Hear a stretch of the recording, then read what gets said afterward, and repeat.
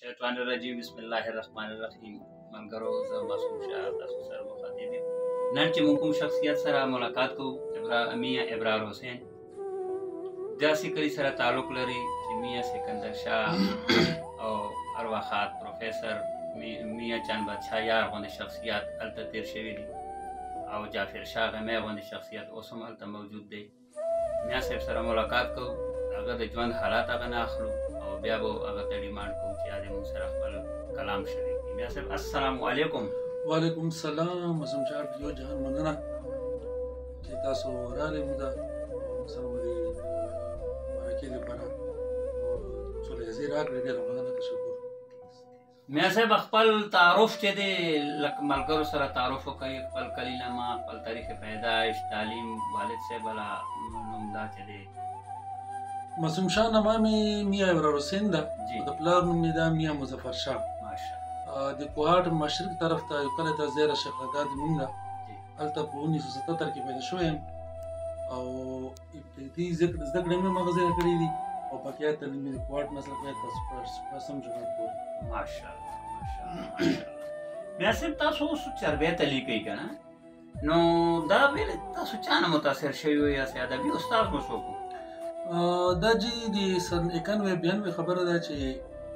کله مو دا ابتدایي لیک راخسته کولو مو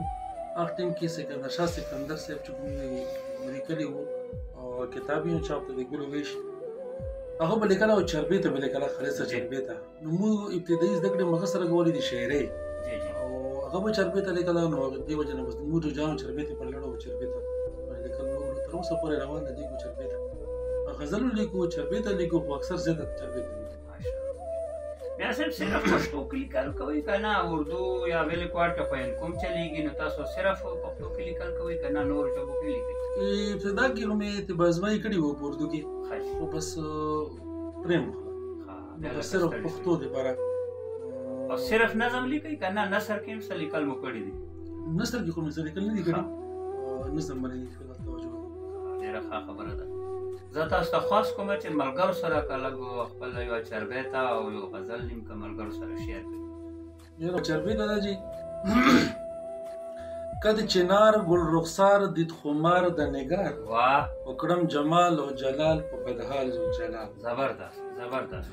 په هر دم او قدم زړه محکم ستم ډیر چې دلبر نیاز پرور په نظر کې وم سیر هسې نه څه انا په بانا مې کړې ګیر ځکه زه خورم زړه د هر څه نه یم تیر خو یم دیدار نه سرشار تر نظر په څوار کت چنار ګل رخسار دید خمار د نګار زبردست او د کمال کوي چال زلفې جال بې مثال وکړم جمال او جلال په بدحال جلال واه واه واه دویم بند دی چې دا حسین نازنین ماجبین دلنشین وهیچل او پول پوربل لاس مهین په برنو بریچو بدرګوی افرین تر ګلاب او محتاب به حساب د حسین او خود اسرار د دیدار په هر بار کوم د یار کد چنار ګل رخسار دید خمار د نگار او هر محال یار ننګیال کړی تپوس می د حال کړم جمال او جلال په بدحال ذل جلال صبر ده څورم بند دي چې وی دلبر ګل بشر په نظر کې اثر یو مچم یو سنم نشته غم د ګودر یو جذبات یو خیالات ملاقات کی گذر او خپل میواک زم به باک سه نه چاک لکه نر نه غیار نه بیزار خپل میار خپل میکار کد چنار گل رخسار دید خمار د نگار او سور شال به مثال هم لاس کې دسمال کړم جمال او جلال په بدحال ذل جلال زبردست بل بندجی چې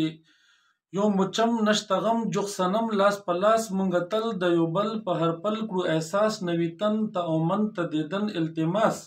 پروتوبو کې مزو کې د کب نوی پیاس هزار بار تشکر د غفار کردګار کت چنار ګل لخسار دید خمار د نگار او زموږ عشق لا زوال بی مثال د کمال کړم جمال او جلال په بدحال ذوالجلال زبردست اخري بند دی چې په ولا یا رستا ټول رویش دی خستا يم چې ځان کا جهان در نکړم صدقه د رخسار نه دیار کوي ار اینا ستا خندا او ادا کړو زهیر هر بندا حسندار مینیدار برابر په مقدار کت چنار ګل رخسار دیت خمار د نگار وم یا د چا سم مجال کړم ګرځوم یار سنبال کړم جمال او جلال بدحال ذوالجلال ډیر زبردست ډیر زبردست اسمیا صاحب تاسو دینه مخکې چې زه تاسو ته دا فرمایش وکم چې یو غزل ملګرو سره شریک کړئ کوم کوم ادبي تنظیمونو سره تاسو تړون لرئ دیمو محبت صدا د بیټو لندې لکه یو تنظیم ده جی ماغه سره دیمو تړون ده ښه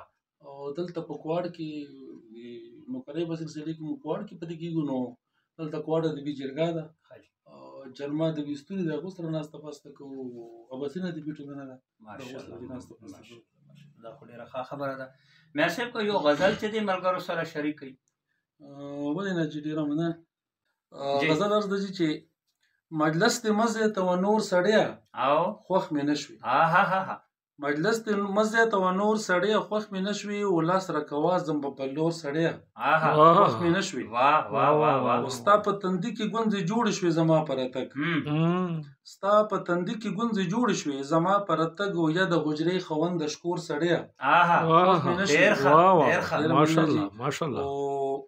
لاس کې را لوی مې کړې خو چک فطرت ته نشو بدل هم. لاس کې رلوی مې کړې خو چک فطرت دې نشو بدل او لري خوینه د منګور سړیا آها خوښ مې نشوي وستا بللی رنگ باندې تیر وتم نادان وم او ستا بللی رنگ باندې تیر وتم نادان وم په خو یزید په جسا تور سړیا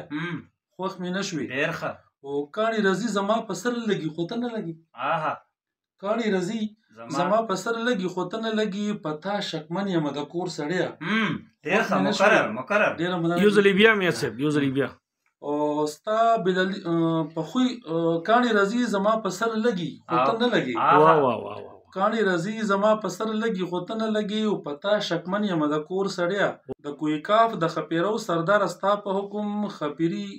بیا یې مو په زور سړیا واه واه واه واه مننه جی د کوی کاف د خپیرو سردار ستا په حکم خپیری بیا یې مو په زور سړیا خوښ مې نشوي او او چې چې سترګور رهبر د ځان سره نه ګرځوي او چې سترګور رهبر د ځان سره نه ګرځوي خود خو ټکر خوري شمکور سړیا ډیر ښه خوښ مې نشوي او هم دین پرچار کړي هم حجونه خو پدری جیدات کې آها ها ډیر ښه هم دین پرچار کړي هم حجونه خو پدری جایداد کې حق نه محروم ستي خور سړیا واه واه خوښ مې نشوي او اخري شعر دی چې هغه د میا د خپلې خبره سل په سل درسته هغه د میا د خپلې خبره سل په سل درسته او ته بابا د شر شور سړیا خوښ مې نه ډېر زبردست ډېر زبردست مونږ د میا ابرار حسین صاحب ډېره مننه کوو چې مونږ ته یې وخت راکړلو او ملګرو سره یې خپل کلام شریک کړلو یو جهان مننه